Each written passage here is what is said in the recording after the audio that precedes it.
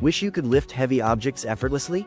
We have got you covered with our SR Chain Pulley Block VD series. With this, users can lift object with less force than would be required without the device.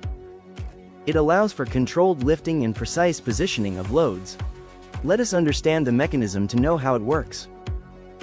The chain pulley consists of a hook, gears, one hand chain, and one load chain. It operates by manually pulling a hand chain, which in turn lifts the load chain and the weight or load that is attached to it. When you lift the load, the braking system automatically locks so the load doesn't drop, even if you stop pulling the chain.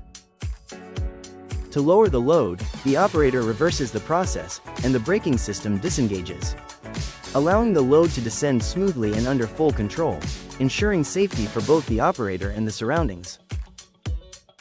It is available from 1 ton to 10 ton capacities up to 3 meter lift.